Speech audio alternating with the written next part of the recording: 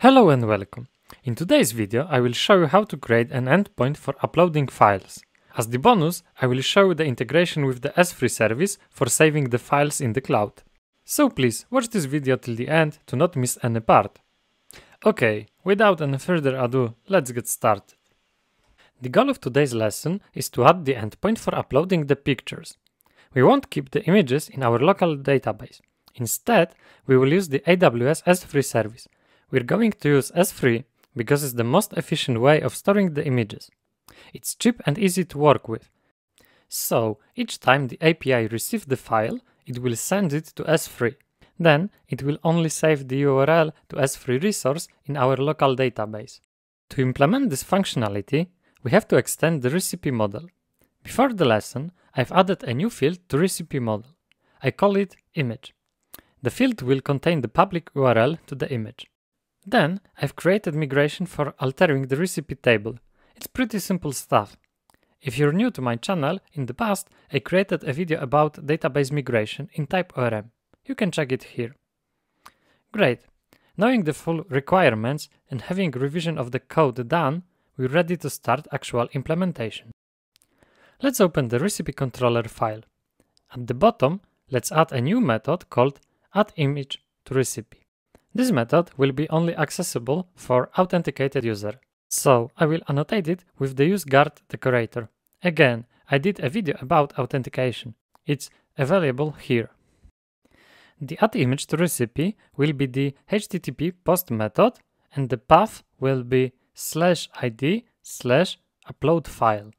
I'm adding the ID to the path because we have to connect the image with specific recipe. Next, I will set the ID as an input parameter of a function. I can copy the code from the patch endpoint. It will be the same. Also, I will add the request parameter to access the user from the incoming request object. But that's not all what we need. To handle the file uploading, Nest provides a built-in module based on the Multer middleware package for Express. To use this module, we don't have to install any additional packages. However, the TypeScript types are missing, so we will add them now. For that, let's open the terminal and type npm install -d add types slash multer. We would like to access the file inside the method. For that, we have to import the express package first. The type of an incoming file can be set as express.multer.file. To make this file truly available in the input, we have to do two additional things. Firstly, we have to use the uploaded file decorator before the file. This decorator just extracts the file from the request object. To make the file available in the request object, we have to annotate the endpoint with another yet decorator. It's called use interceptors. Interceptors are another yet Nest.js entities. They allow for binding extra logic before or after the method execution. We will pass here the file interceptor. It's a built-in interceptor for uploading the files. We have to provide to it the name of the file's key. It's not a file's name, it's just the key we will use when sending a file. In our case, I set it to be equal to file. Great! Now we can simply console log the file and reveal what is inside. To start the development server, let's type docker compose app inside the terminal window. Let's wait a while for app to start. We're starting the new instance of the app, so the database will be empty. To test the endpoint, let's create the user first. Then, let's use the login endpoint to get the JWT token. Finally, let's create some recipe. Remember, the image will be attached to the recipe, so we need one. Endpoint for creating recipes is protected, so we have to set authorization header here. Okay, now we have the recipe created, but there is one last step. Let's get the recipe ID by using the get endpoint. Okay, now we're ready to upload the file. Let's copy and paste the recipe ID to the path. Also, let's add the JWT token to the headers to authenticate the request. Next, inside the body tab, inside the Thunder client, let's pick the form tab. There is a place where we can pick the files to send. We're sending the files like in the HTML form, so that's why the tab is so called. Here you can see the files key. It has to match the key we have specified in the interceptor.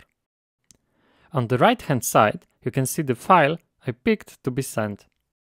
Okay, when I click send, after a few moments you can see 201 status. When we look into the logs, you can see there the field name, the original name of the file, type of the file, as well as the buffer. Okay, now we're ready. Now let's implement the logic for saving the file. In the recipe controllers file, I will extract the user email from the request, and I will call the add file to recipe method. This method of recipe service not exists yet. That's our next task, to implement it.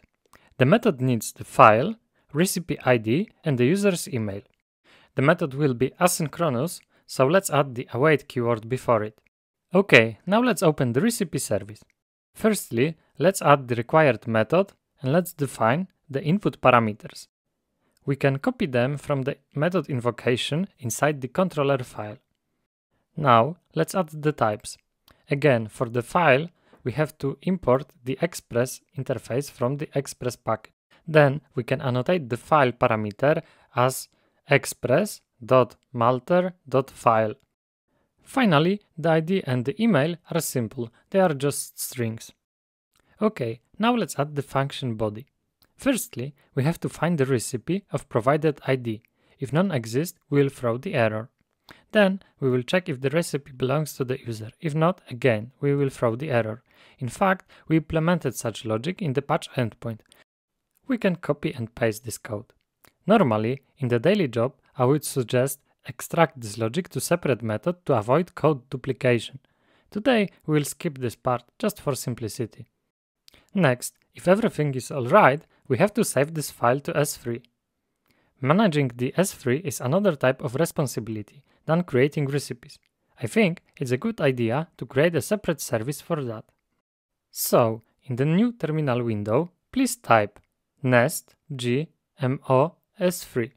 This will generate a new module. Then type nest g s s3 to generate s3 service.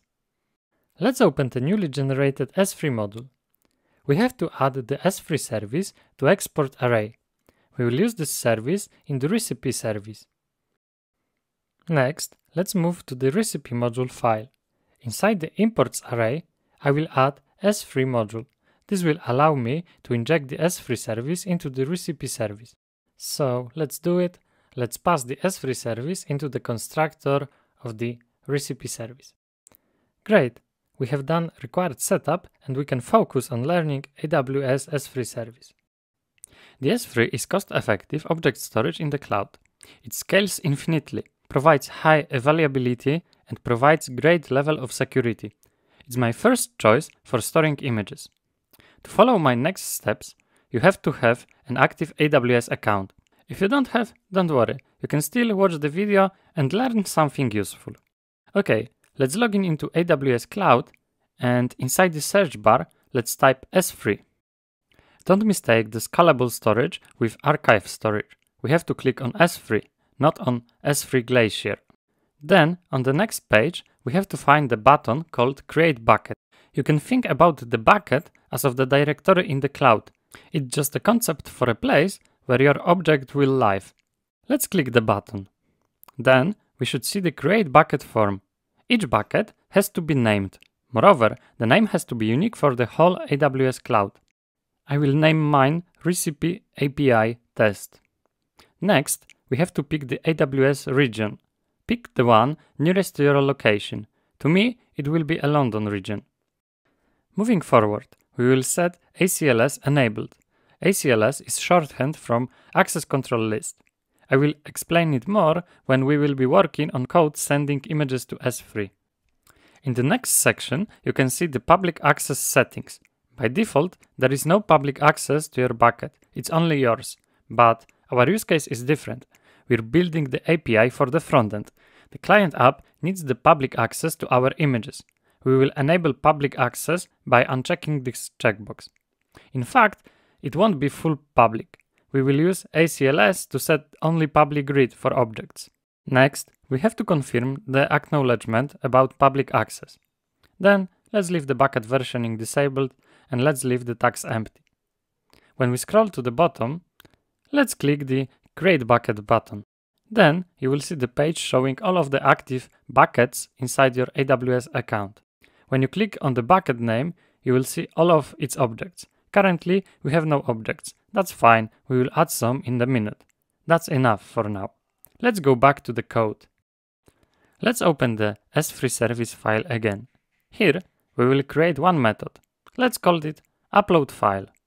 The method will take the file as an input and additionally the key. Again, the file is type of express.multer.file, while the key is concept related to S3. In S3, the key is a unique ID of the file inside the bucket. To actually interact with S3, we have to install an additional package. For that, let's open the terminal and type npm install add aws-sdk slash client-s3.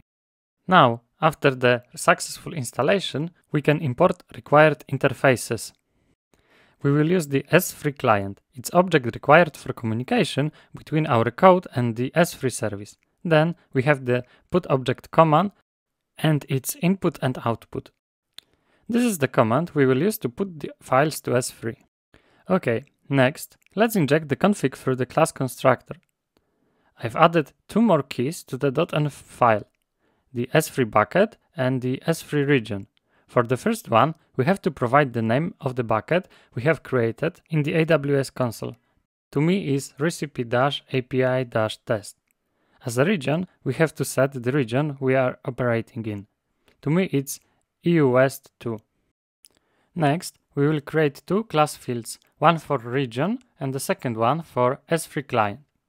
Next, we will read the AWS region from the config service and we will assign it to the variable.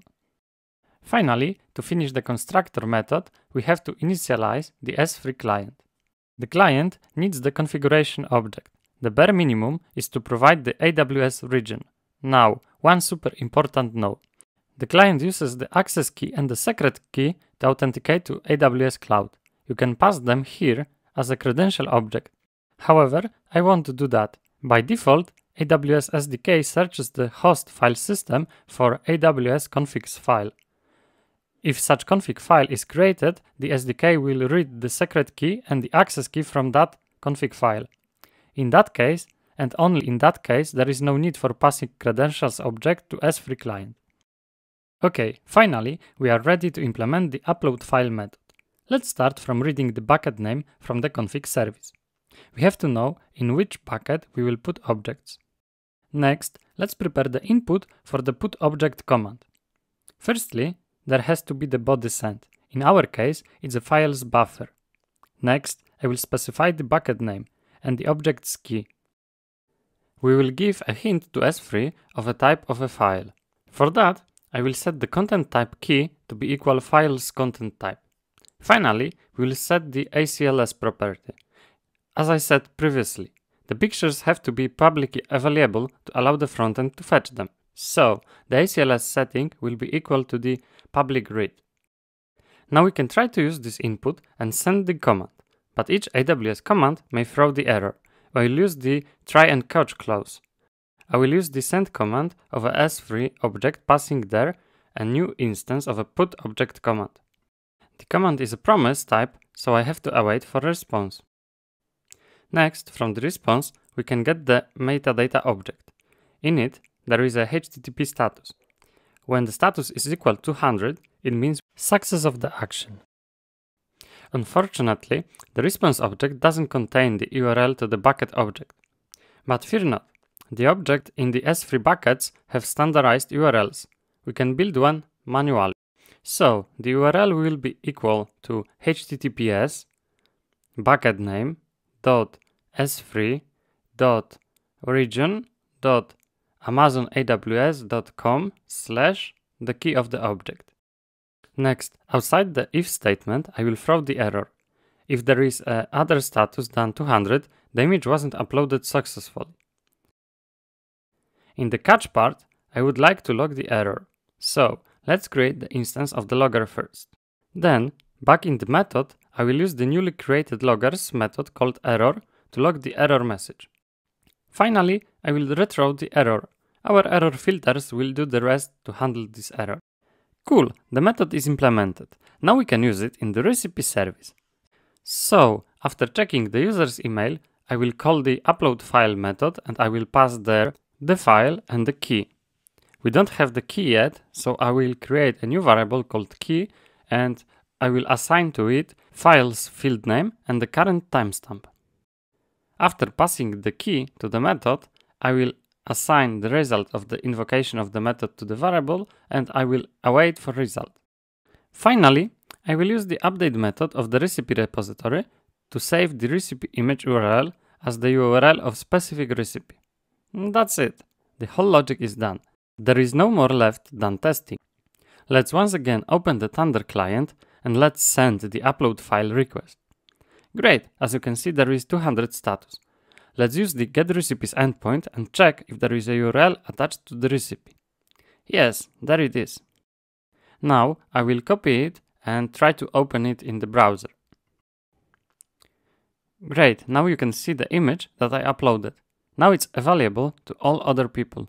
Everything works. After finishing playing with app, let's delete the S3 bucket. It's always a good practice to delete unused resources in the cloud to not pay any additional money. For deleting the S3 bucket, we have to remove the object first. For that, let's check the checkbox next to the file we want to delete and click the delete button, and then let's confirm the deletion by typing permanently delete. Let's close the pop-up, and then let's go back to the main buckets view. Finally, let's pick the bucket we want to delete and click delete button.